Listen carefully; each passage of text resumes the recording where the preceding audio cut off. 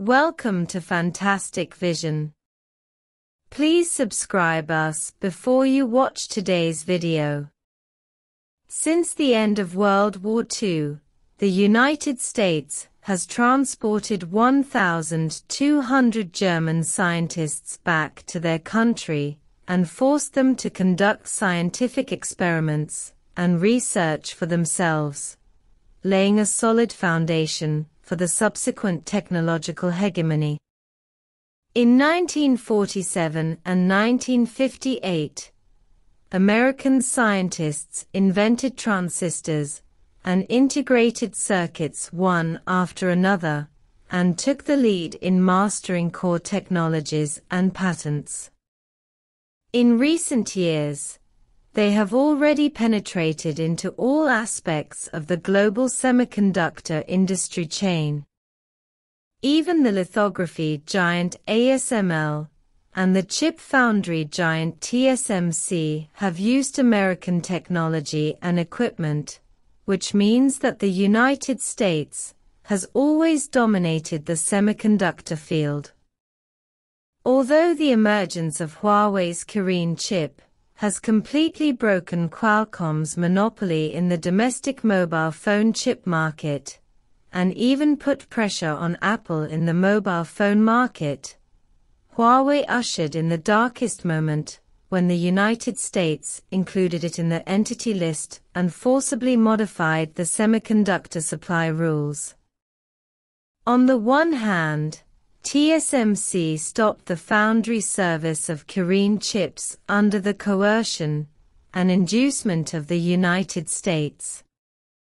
On the other hand, ASML was also restricted from exporting EUV lithography machines to mainland manufacturers, resulting in domestic chip manufacturers unable to foundry advanced Kirin chips for Huawei.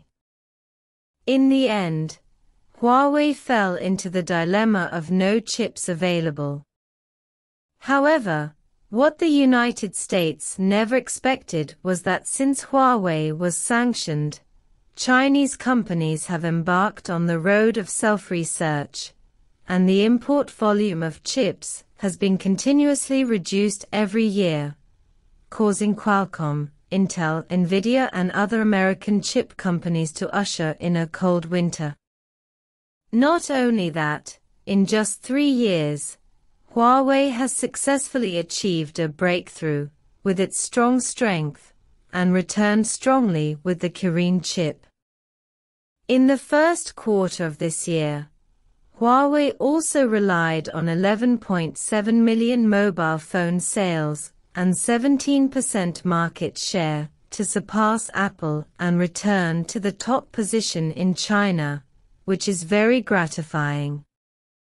What made the Biden team break the defense even more was that China has made major breakthroughs in the field of lithography in recent years.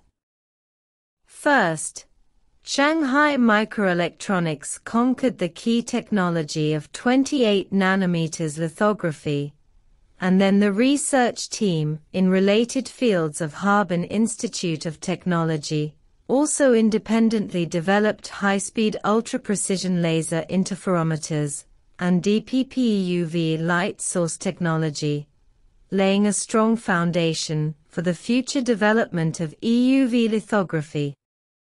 In addition, Fudan University has recently hit another king bomb.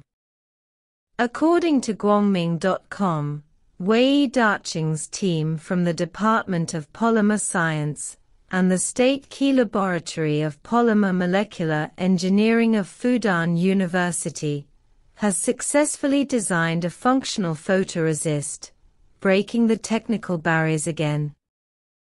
According to researchers, this functional photoresist can realize the interconnection of 27 million organic transistors on polymer semiconductor chips, and its integration has reached the level of ultra-large-scale integration, which has overtaken many European and American companies. At present, this achievement has been published in the journal Nature Nanotechnology.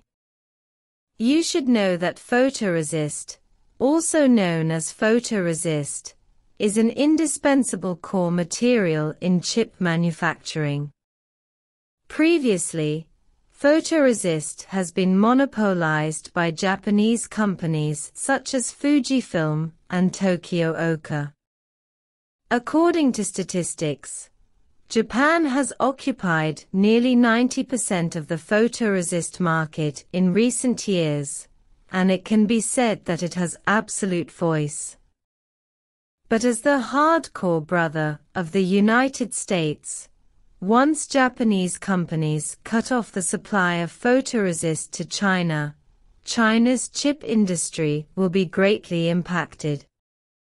Therefore, at this critical moment in China, the independent research and development of photoresist is the top priority. This also once again shows that Fudan University has made a contribution this time. The multifunctional photoresist it has developed not only breaks the technical barriers, but also effectively promotes the development of the domestic chip industry, which can be said to be very gratifying. Once China can successfully break the blockade, and technical barriers in both lithography machines and photoresists. It will no longer be afraid of US sanctions in the future, and domestic chips will surely rise strongly. Even foreign media have said that domestic lithography machines are unstoppable. As the saying goes, there is no scar, where is the thick skin and flesh. Although a series of sanctions by the United States in recent years have severely injured Chinese companies such as Huawei, it has also further forced China to embark on the road of self-research faster. Now Shanghai Microelectronics has mastered the key technology of 28 nanometers lithography machine. Harbin Institute of Technology has mastered the three core technologies of EUV lithography machine. Fudan University has made major breakthroughs in photoresist, and SMIC has made breakthroughs in mature processes and increased production capacity in recent years. I believe that in a few years, China will be able to completely break the blockade and restrictions and show the glory of domestic chips and domestic lithography machines on the international stage. Please like if you agree.